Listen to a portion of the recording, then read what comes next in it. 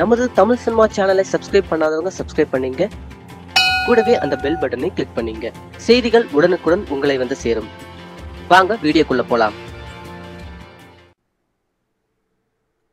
தமிழகத்தின் நாமக்கல் மாவட்டத்தில் முதலிரவுக்கு மனைவி மறுத்ததால் விருத்தியில் புது மாப்பிளை தற்கொலை செய்து கொண்டுள்ள சம்பவம் அதிர்ச்சியை ஏற்படுத்தியுள்ளது. மணி மற்றும் சுகன்யா ஆகிய இருவருக்கும் பெற்றோரின் சம்பவத்துடன் திருமணம் நடந்தது. ஆனால் முதலிரவு ஆண்டு பெண்ணுடன் ஏற்பட்ட வாக்குவாதம் காரணமாக மணி வீட்டை விட்டு வெளியேறினார். இரண்டு நாட்கள் கிடந்த நிலையில் மணியின் சடலம் மட்டுமே கிடைத்துள்ளது. இந்த விவகாரம் தொடர்பில் போலீசார் மேற்கொண்ட விசாரணையில் மணி இரண்டு ஆண்டுகளுக்கு முன்னர் மனநலம் பாதிக்கப்பட்டதாகவும் சிகிச்சை பின்னர் குணமடைந்ததாகவும் தெரியவந்தது. இதற்கிடையே சுகன்யாவுக்கு விருப்பம் இல்லாமல் திருமணம் நடந்ததாலும் மணியின் மேல் இருந்த பயத்திலும் இவர் முதலிரவுக்கு அனுமதிக்கவில்லை என தெரிய வந்தது இதனால் வீட்டை விட்டு வெளியேறிய மணி தற்கொலை செய்து கொண்டது தெரிய வந்தது இச்சம்பவம் அப்பகுதியில் பெரும் பரபரப்பை ஏற்படுத்தியுள்ளது.